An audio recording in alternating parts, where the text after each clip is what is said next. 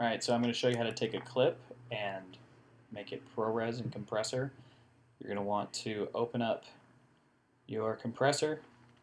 I'm going to take my H.264 file from my 7D that's been recorded and I'm just going to drag it into compressor right here.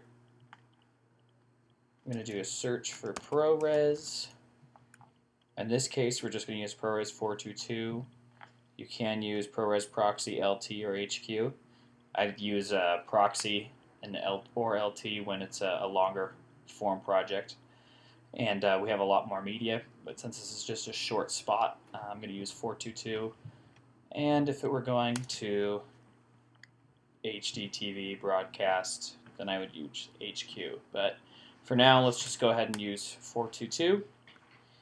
I'm going to select this right here. I'm going to right click on it and tell it to go to where I want it to go, which would be my ProRes folder. It's already there, so I'm going to delete it for this case. I'm going to tell it to go to my ProRes folder.